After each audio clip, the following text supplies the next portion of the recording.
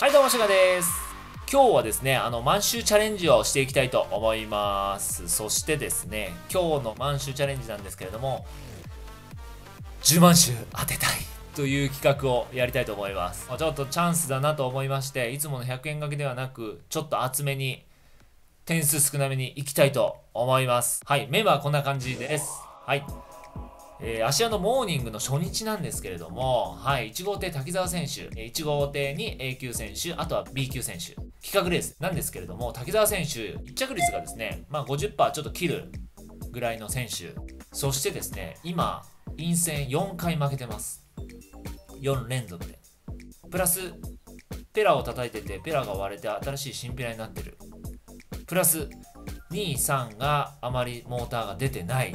ということで、回目はこちらにしました。はい。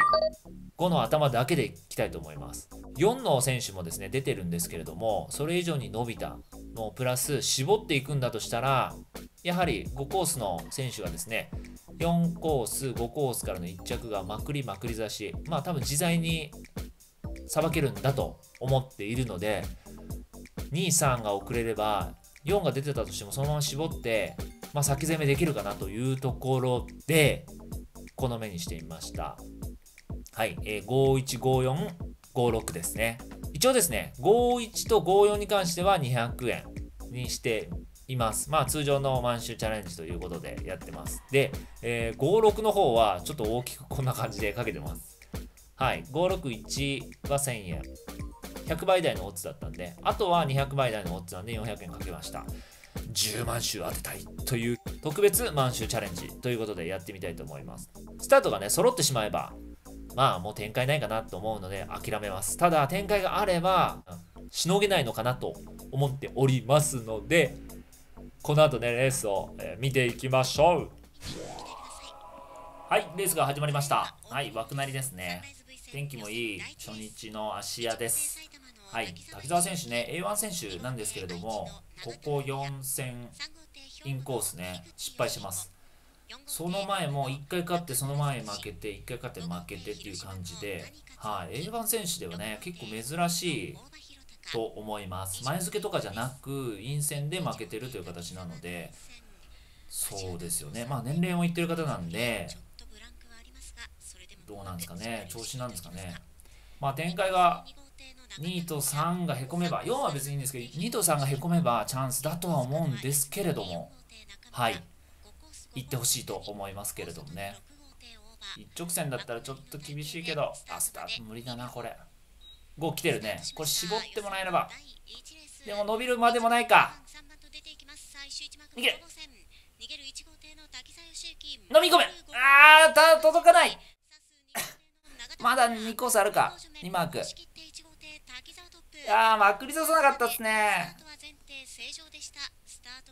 いや、まだでもわかんないかな。これ競り合いで抜いてくれればいいけど。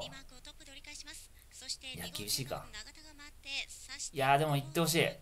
後ろに誰もいなければ、これ、なんとか追いついてくれれば。6が来てもまああれですけどね。いやー、厳しいか。いやー、届かなかったなというよりも、兄さんが邪魔でしたね。あそこでまくり出す幅があれば、くー。まあ、5が出てた、攻めたっていうのは良かったんですけど、いやー、やられましたね。まあ、多分、人気方面だと思いますけど、いや、ワンチャンあるかなと思ったんですけどね。はい。まあ、勝つか負けるかはね、あそこのもう1号艇のさばきだけだと思うんで、うん。まあ、うまかったですね、滝沢選手。いやー、満州チャレンジ、失敗しました。行くかなと思ったのにな。人伸び足りなかったな。一押し足りなかったですね。まあ、展開は本当良かったです。まあ、どちらかというと4が遅れてっていう感じですね。2と3がね、遅れてなかったのが、まあちょっとうん、予想外もしもしね遅れていれば、まあ、まくり差しの内側もあるのでどっちか絞れるんですけどねもうガッチガチに内側2と3に固められてましたね。はい、はい、えー、156でした。あの人気サイドの決着です。まあ5が出てたっていうのもあったんではい。まあね満州チャレンジをやるレースっていうのは、まあ、ある程度やはり展開としてここはいけるんじゃないかとそして1が一番人気の1コースがいなくなる可能性がすごく高い。けどオッズは1コースに集中している。っていうところで選んでます。